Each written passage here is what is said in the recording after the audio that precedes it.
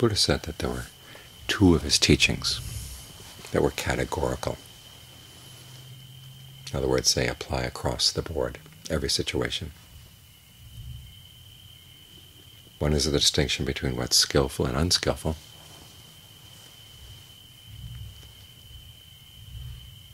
And the other is the Four Noble Truths.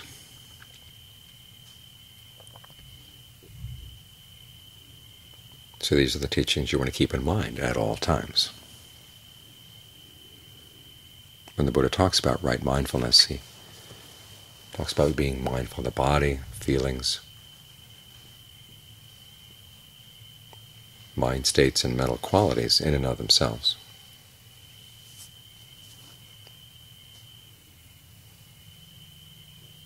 But there's more to it than just that. You're mindful, keep these things in mind. You're alert, you watch them, you watch their behavior. And then you're ardent.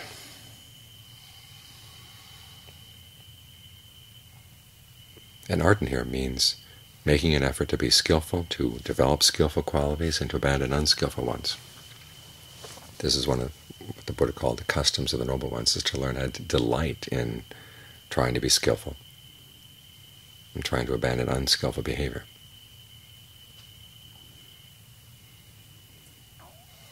So that's something else you always want to keep in mind as you're focused on the breath, as you're focused on feelings, whatever your meditation. You always want to do it skillfully, not just the meditation, everything you do. That's something to keep in mind. When you're dealing with other people, you want to do it skillfully. In other words, in a way that doesn't harm yourself and doesn't harm others, in a way that doesn't lead to unnecessary entanglement.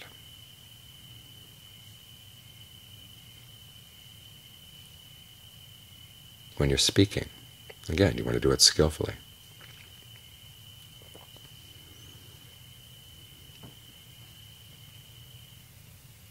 And this requires, on the one hand, that you know the general principles of what the Buddha said about being skillful. In other words, no killing, no stealing, no illicit sex, no lying, no divisive talk,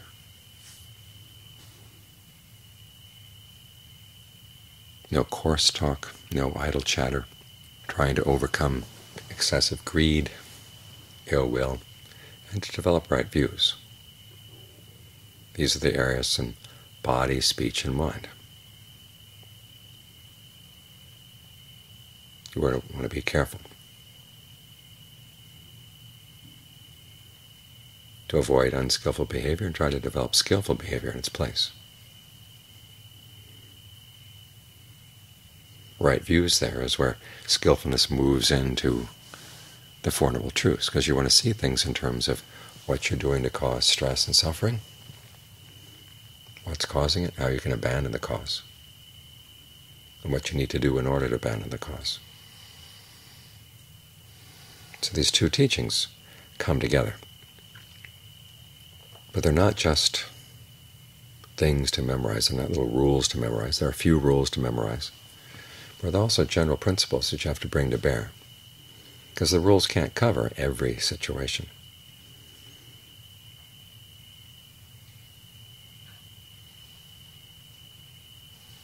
This is where you have to develop your own intuitive sense of what's skillful and unskillful in a particular situation. One way, of course, is to look at the behavior of other people who are skillful. Get some sense of how they interact with others, how they respond to specific situations, and try to understand why.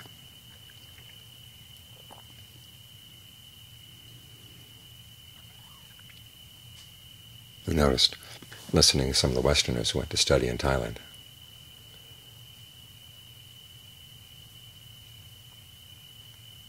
they noticed the behavior of the monks in the monasteries.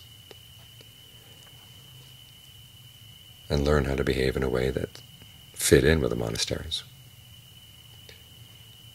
But some cases they learned to internalize the reasons, and in other cases they didn't. Well, they didn't internalize the reason. They just felt, well, this is the way Thai people do things. There's not much reason to it. It's simply a custom. So when we come back to the West, we don't have to bring those customs back. And then there were the people who said there must be a reason for this. It's not just arbitrary. And they tried to figure out the reasons behind it. And that way they, they internalize the principles. They found that by internalizing the principles, they had something very useful to bring back. And so this is always a good principle to keep in mind.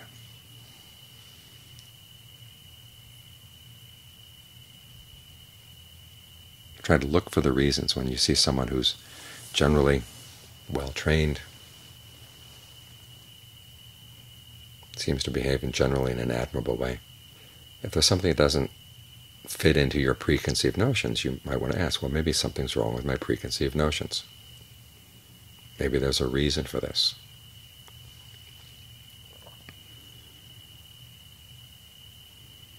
And that way opens the possibility for you to think in new ways. Now, it may well turn out that the person simply is acting in line with custom,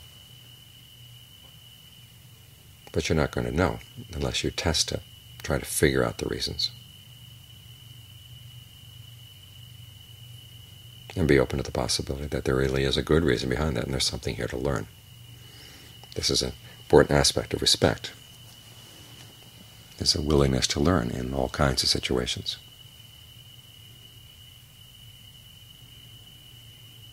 But then, of course, you come into some situations where it seems to be totally new. You don't have any models to follow. And there may be some conflicting principles. You don't know whether to apply this principle or that principle. And this is where you simply have to be willing to make a mistake. In other words, go ahead and do what seems right, but then see what happens as a result.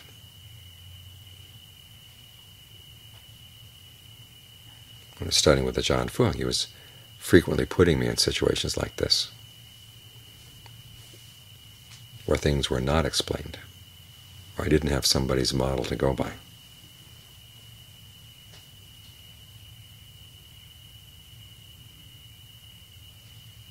And if I was afraid to act or hesitated, he'd yell at me. And if I acted and made a mistake, he'd yell at me. But at least if I acted and made a mistake, then I'd figure, okay, that's wrong. Maybe it's something else is right. So I figured the only way I was going to learn was be to be willing to make mistakes. And then to try to figure out what his intention was. And I learned a lot that way.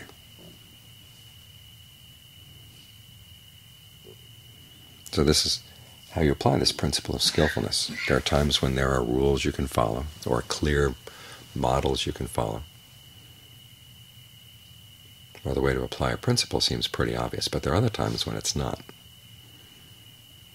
This is where you get to refine your understanding what it means to be skillful and unskillful, to look more carefully at your intentions, to look more carefully at your actions, to look more carefully at the results.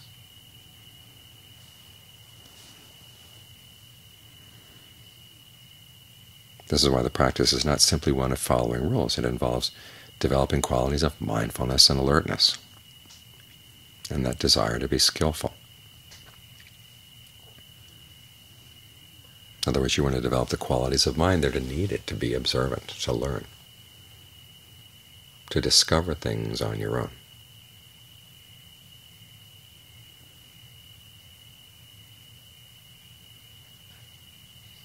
I had a student once who was a chef in a French restaurant in Singapore.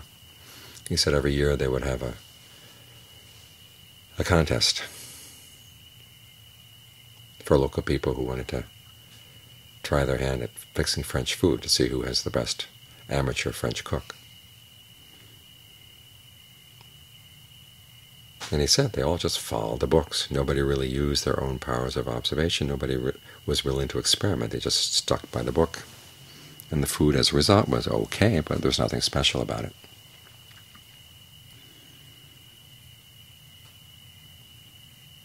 You want to be a especially good French cook, you had to do a lot of it, and you had to be very observant and make adjustments on your own. The same principle applies in the practice. You can follow the rules and do okay, but it's nothing really special. And that attitude of mind that simply wants to get by by following the rules, that's not one that, has, that should be encouraged. It very easily turns into attachment to habits and practices.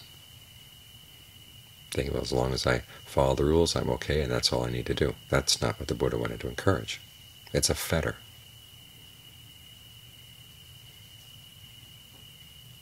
He wants you to practice the precepts, work on concentration, work on discernment, specifically for the sake of discernment. The kind of discernment that can be used to put an end to suffering. That comes from learning to be observant, to experiment, with the idea in the back of your mind that you always want to try to do the skillful thing. And this can apply to any area of your life. In fact, the more you try to apply this principle of skillfulness to everything, the stronger it will grow in your meditation.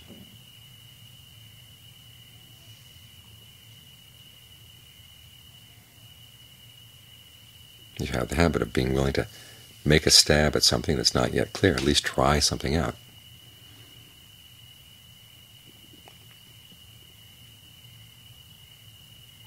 in your day-to-day -day activities, then you'll find that you develop that same quality in your meditation. And it's a useful quality to have, because not everything is explained in the books. The mind has lots of in and outs that are you could never really put in a book. But you've got to learn how to figure them out. You've got to learn how to handle them skillfully, which requires that you experiment and that you take responsibility for your mistakes and take responsibility for learning from them.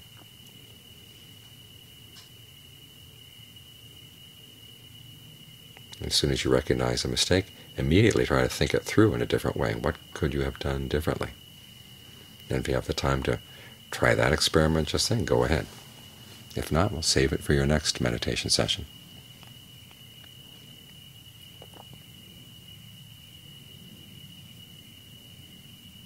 This way you find that the general principles of skillfulness and the Four Noble Truths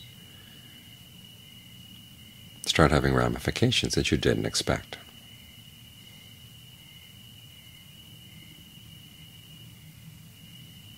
And that's a sign that you're learning.